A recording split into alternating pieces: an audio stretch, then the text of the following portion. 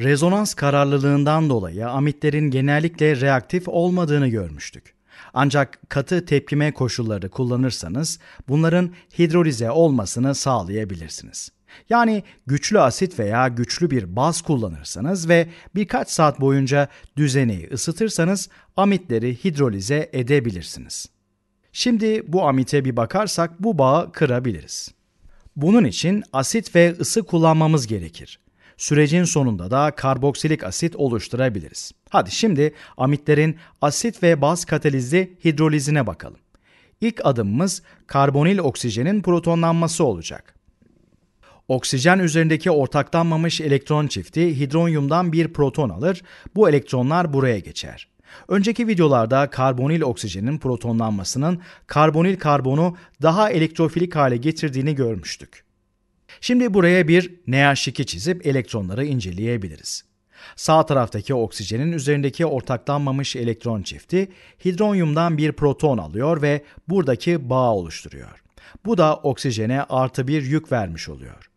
Bunun rezonans yapısını ele alacak olursak, buradaki karbonil karbonumuzdan bir miktar elektron çekilecek. Bu da bu karbonu daha çok elektrofilik hale getirecek. Böylece bir nükleofille tepkimeye girecek. Buradaki nükleofil ise su molekülü. Şuraya bir su molekülü çizelim. Eğer hidronyumu protonlarından arındırırsak H2O elde ederiz. Burada su bir nükleofil görevi görüp karbona yani elektrofile saldıracak ve bu elektronlar oksijene geçecek. Çizecek olursak elimizde şu an sol tarafta iki ortaklanmamış elektron çifti olan oksijeniyle bir OH grubu bulunuyor. Şimdi buradaki elektronlara bir bakalım. Yeşille gösterdiğim elektronlar oksijene doğru hareket ediyor. Şimdi ise karbon ve şuradaki oksijen arasında bir bağ oluşturalım. Bu oksijen ayrıca iki hidrojen ve bir ortaklanmamış elektron çiftine sahip. Yükü de artı bir. Buradaki elektronları da maviyle gösterelim. Oksijen ve karbon arasındaki bağ oluşturan elektronları maviyle işaretledik. Tabii bu durum oksijene artı bir yük vermiş oluyor. Ayrıca şuraya bir de NH2 eklememiz gerekiyor. Şimdi artı bir yükümüz var değil mi? Bu yüzden bir sonraki adımımız bu artı bir yükten kurtulmak için protonlardan arındırmak olacak. Su yine karşımıza çıkıyor ama bu kez baz görevi görecek. Biraz önce su nükleofil görevi görmüştü. Şimdi ise baz görevi görecek. Daha önce yaptığımız gibi bir proton alıyoruz ve elektronlar da oksijene geçiyor. Böylece artı bir yükten kurtulmuş olduk. Şimdi sol taraftaki molekülü çizelim. Burada bir OH var ve hemen sağ tarafında bir OH daha bulunuyor. Evet, elektronları da gösterelim. Eğer şimdi protonları arındıracaksak bu protonu alalım. Bu elektronlar da oksijene geçsin. Bunu da mavi yapalım ki hangileri olduğunu anlayalım. Aşağıda hala NH2 var. Onu da şuraya çizelim. Bu sefer azotun üzerindeki ortaklanmamış elektron çiftlerini de çizdim ve hidrojenler de işte burada. Bir sonraki adımda bu amin baz görevi görecek. Elimizde şu anda tabii ki asit olduğunu bildiğimiz hidronyum var. Yani H3O artı. Geri kalanı da çizelim. Şimdi amin baz görevi görecek. Hidronyumsa asit. Burada amin H3O artıdan proton alacak. Elektronlar da oksijene geçecek. Evet, şimdi başka bir asit baz tepkimesi için biraz yer açalım. Burada amine proton ekliyoruz. Çünkü bu bize daha iyi bir ayrılan grup verecek. Şimdi buraya her şeyi çizelim. Yine aynı şekilde iki tarafta da OH mevcut. Bu tarafa da çizelim. Evet. Tabii altta bir R grubumuz var ve şurada ise 4 bağ sahip bir azot bulunuyor. Bu da bize azotun artı bir yükü olduğunu gösteriyor. Şimdi elektronları morla gösterelim. Azotun üzerindeki bu elektronlar bu protonu alıyor. İşte elektronlar aşağıda burada.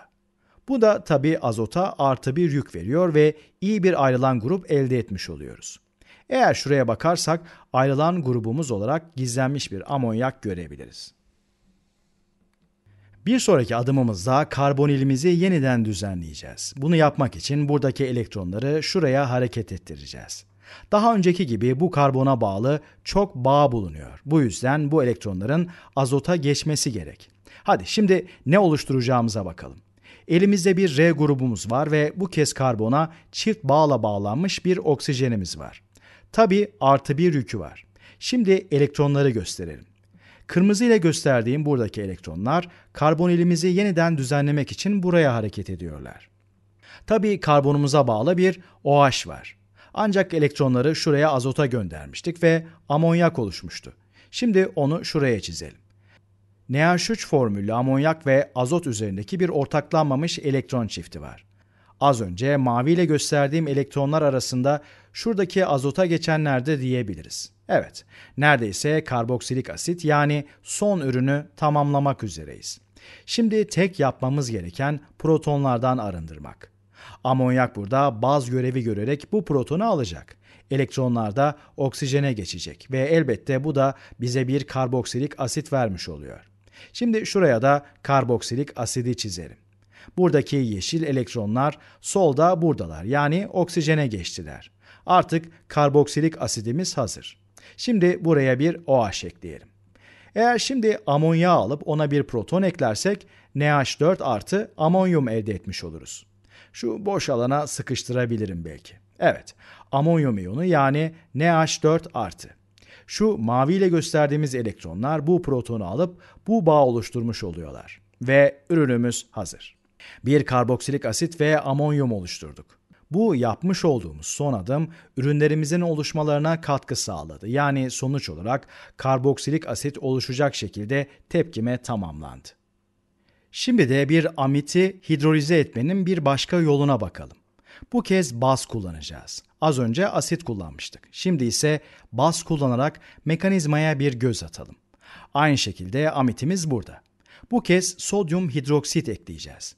Hidroksit anyonu sudan daha iyi bir nükleofildir. Bu yüzden bu mekanizma için hidroksit anyonu nükleofil görevi görecek ve buradaki karbonil karbona saldıracaktır. Böylece bu elektronlar da oksijene geçecektir. Devam edip ne olacağını gösterelim. Şimdi sol tarafta 3 ortaklanmamış elektron çifti olan ve eksi bir yüklü oksijenimiz var. Buradaki elektronlar oksijene geçmişti. Evet, bu karbona başka neler bağlı? R grubu, NH2 ve bir de OH. Şimdi sodyum hidroksitin elektron çiftlerini gösterelim. Şuradaki mavi elektronlar karbon ve oksijen arasındaki bağ oluşturdu. Şimdi karbonilimizi yeniden düzenleyebiliriz. Hemen yan tarafta yapalım. Aslında azotun ortaklanmamış elektron çiftlerini burada göstermememiz lazım. Çünkü karbonili yeniden düzenleyeceğimiz zaman bu elektronlar önce karbonili oluşturmak için hareket eder, daha sonra ise azota geçerler. Elimizdekileri çizelim. R grubumuz var. Yeniden düzenlenmiş bir karbonilimiz var ve devamında oksijen ve hidrojenimiz bulunuyor. Evet, karboksilik asidimizi oluşturmuş olduk. Şimdi mavi renkte bu elektronları da gösterelim. Böylelikle hangi elektronlar olduğunu rahatça görebiliriz. Tepkimede neyi kaybettiğimize bir bakarsak, evet NH2 kaybettik. Buraya bir çizelim. Rengi değiştireyim ama neyse sarı olsun yine. Elektronlarımıza bir bakalım. Azotun üzerinde bir tane ortaklanmamış elektron çifti zaten mevcuttu ama şimdi bir tane daha geldi. Şimdi size bunun nereden geldiğini göstereyim. Şu elektronlar azota geçti. İşte buradalar. Bu da azota eksi bir yük veriyor. Yani bu oldukça güçlü bir baz olan amit anyonu. Şimdi elimizde güçlü bir baz ve asit var. Böylece bir asit baz tepkimesi gerçekleşecek. Baz asitten bir proton alıyor. Bunu çizerek gösterelim. Buradaki kırmızı elektronlar asitten bir proton alıyor, elektronlar buraya geçiyor. Şimdi yan tarafa ürünü çizerek devam edelim. Elimizde şu an karboksilik asidin konjüge bazı var. Yani karboksilat anyonu. Buradaki oksijende ortaklanmamış elektron çiftleri var ve ona eksi bir yük veriyorlar. Bu kez yeşil rengi kullanıp gösterelim.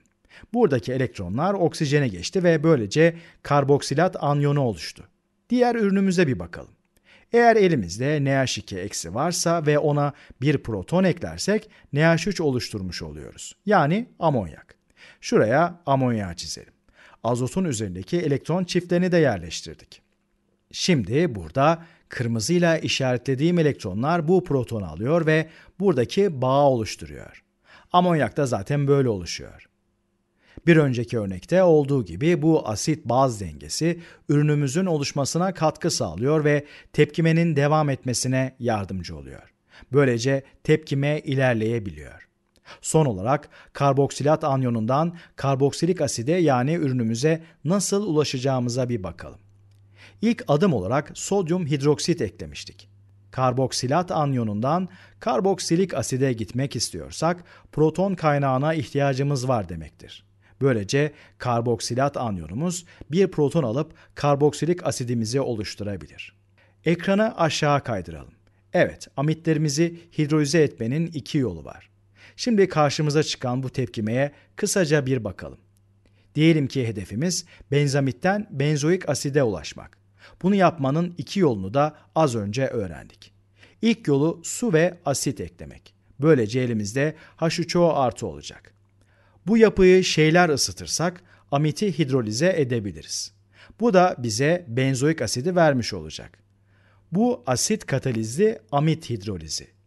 İkinci yol olaraksa baz kullanabiliriz. Karboksilik asit oluşturmak istersek ilk yapacağımız şey sodyum hidroksit eklemek. Yüklerini de ekleyelim ve daha sonra ısıtalım. Ve elbette bu da bize karboksilat anyonu verecek. İkinci adımda proton ekleriz ve ürün olarak benzoik asit oluşur.